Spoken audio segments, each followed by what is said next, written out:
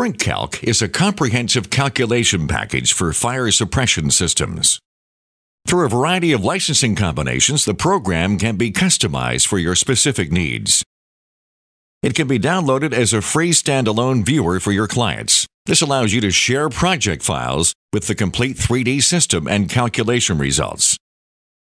The program can also be authorized to perform hydraulic calculations. This is the Calc option, which allows you to build and calculate any hydraulic analysis.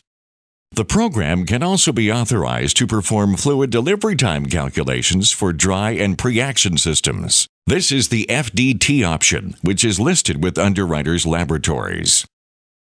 The FDT option can be enhanced with the Quell option to accommodate Tyco Quell cold storage sprinkler system design.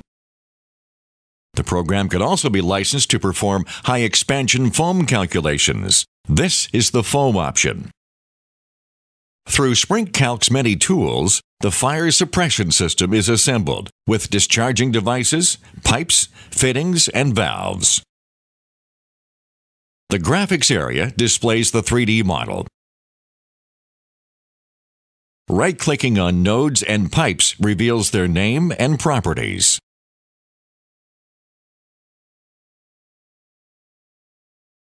Node information appears on the right and the pipe information is listed below.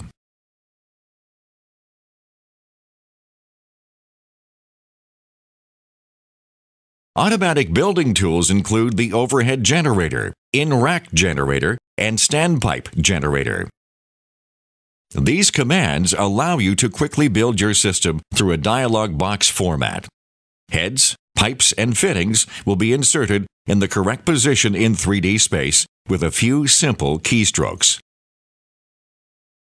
There are also a number of semi-automatic tools for placing nodes and pipes into your project.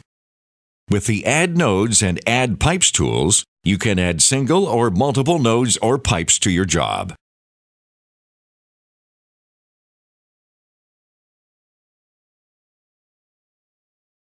The program also provides a number of tools for editing and modifying a project.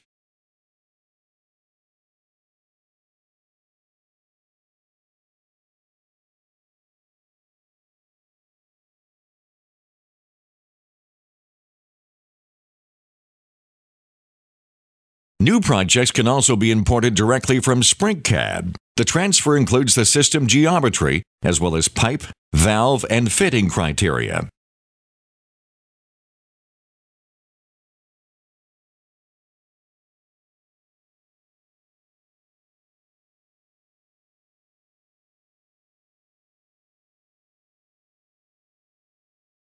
This starting project model becomes the initial system. The model is made up of pipes and nodes.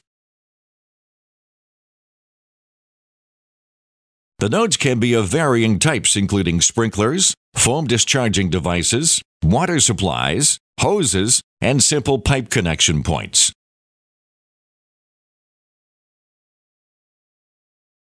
In the initial system, the fittings are placed in the nodes by the layout utilities.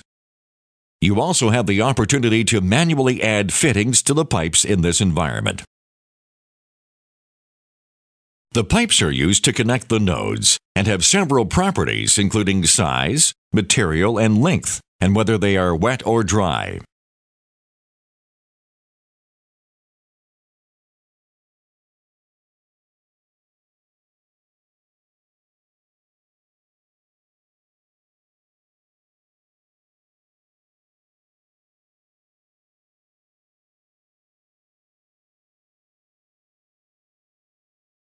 Pipes may also take on the property of a valve and become backflow preventers, dry pipe valves, or other valve types.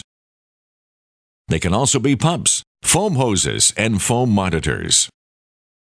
The preparations for a hydraulic calculation start with the creation of the initial system. All nodes, pipes, discharging devices, and fittings must be in place. There must be at least one supply node with water supply criteria defined.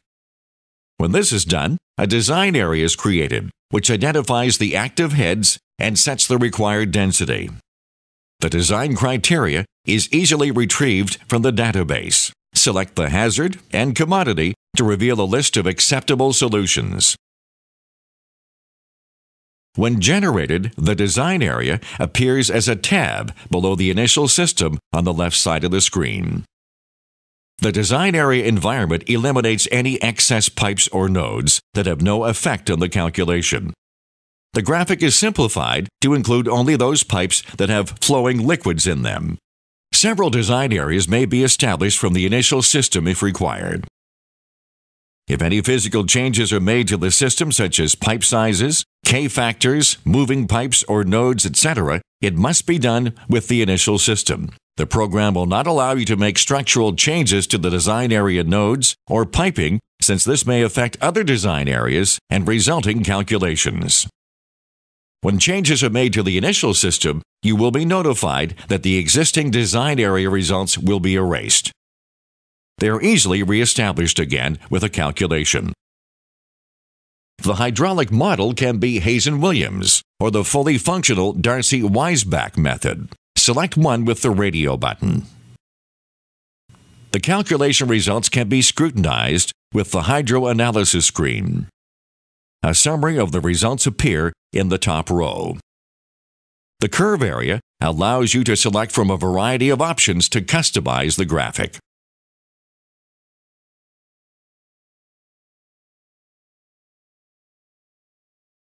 When returning to the project, nodes, pipes, and other objects can be observed through the Properties dialog box. In the Design Area environment, data includes the results of the hydraulic calculation.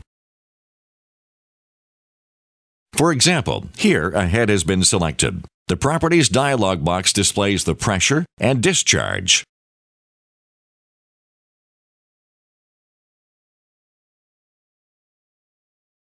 A selected pipe displays the flow, velocity, and friction loss.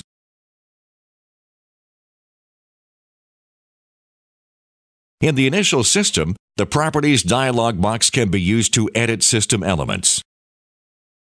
For example, here a pipe can be changed into a pump.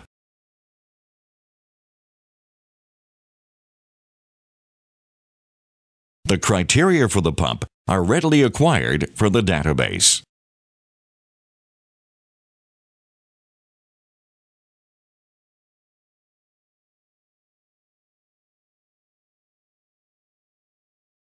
Printed reports are quickly customized and generated with the Print Settings dialog box.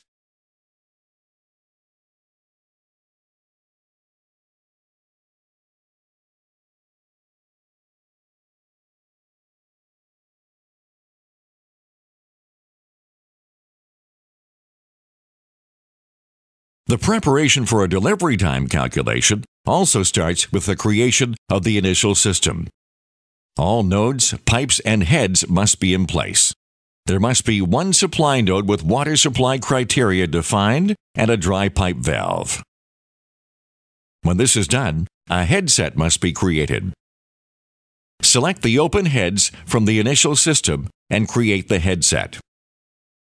Select the design criteria from the dialog box to automatically retrieve the required delivery time and required number of heads.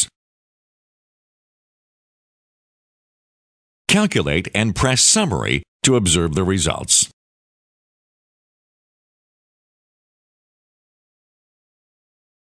The dialog box provides the dry pipe valve trip time and pump activation time if present. The fluid delivery time and operating time are listed for the most demanding sprinkler. The sprinklers of the headset are listed below with the calculation results.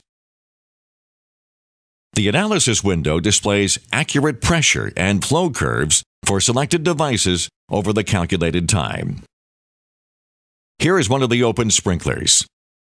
At zero time, the heads open, allowing gas to escape to atmosphere. The gas pressure drops until the dry pipe valve opens at point 1.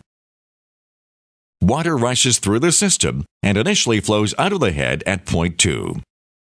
The pressure and flow spike at this point due to the momentum of the water. The water stabilizes at a lower flow rate in Area 3 since the system is being supported by the water supply only and the pump has not yet started. After a time delay, the pump starts at point 4. the pressure and flow spike again at point 5 due to the increased flow and pressure generated by the pump. The sprinkler operating pressure and flow oscillate in area 6 and eventually stabilize.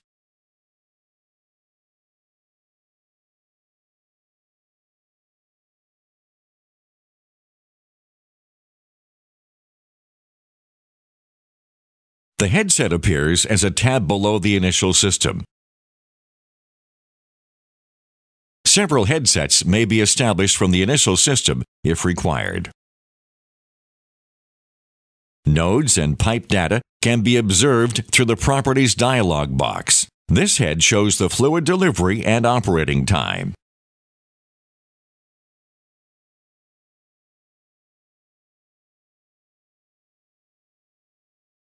The fill-up routine precisely displays the flowing liquid in the pipes as the gas is expelled. After the calculation time is expired, the fluid delivery times are displayed.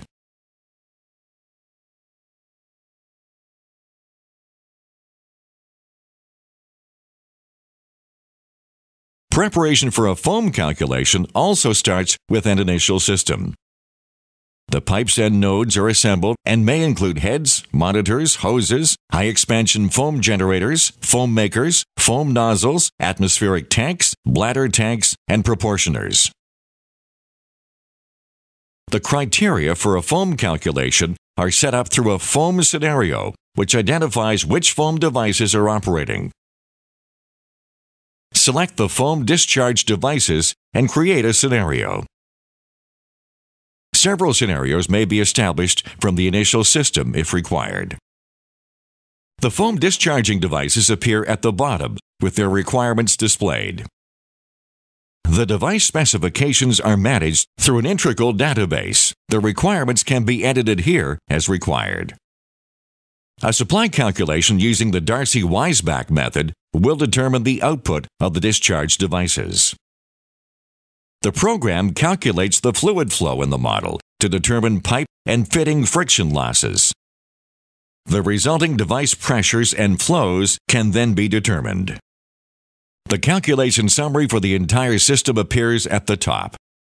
A supply curve is displayed with the system usage point plotted.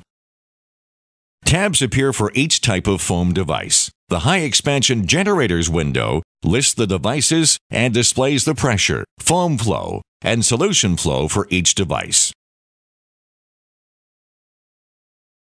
The lower area allows you to perform submerging time and foam application rate calculations.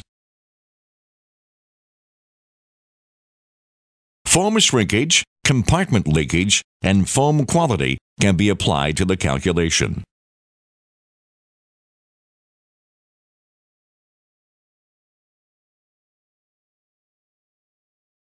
Windows are also available for other discharge devices, proportioners, and tanks.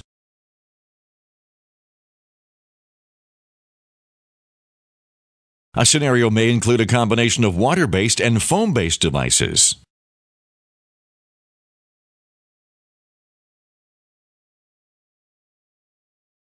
For example, you can calculate a combined water-based deluge system and a high-expansion foam system this system includes a water deluge system, high expansion foam generators, and foam nozzles on hoses.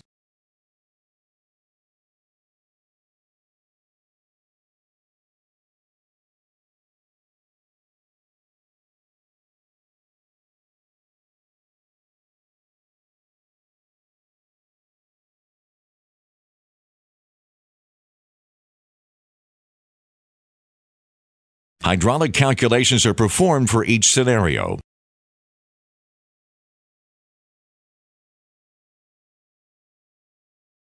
Windows are available for the deluge sprinklers, foam nozzles, and the high expansion generators. The sprinkler discharge now appears in the generators window.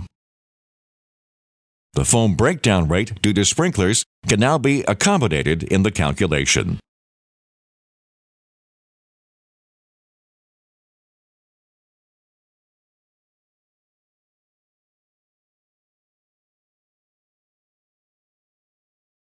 If you have both foam and FDT licenses, you can perform calculations to determine the time required for foam discharging devices to reach operating pressure.